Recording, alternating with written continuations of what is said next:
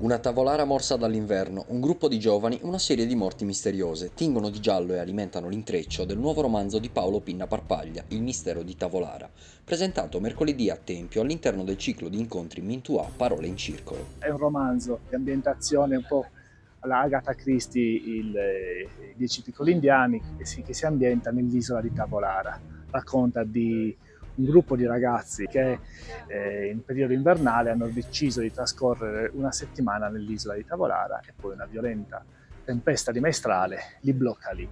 In questa situazione uno dopo l'altro periscono in circostanze misteriose. Ci sarà un, un, eh, un, poliziotto che cerca di capire cosa è successo. All'interno di questa location molto suggestiva si cercherà di capire cosa è accaduto ai poveri ragazzi il cui racconto è riferito sul letto di ospedale dall'unica superstite Maria Sole.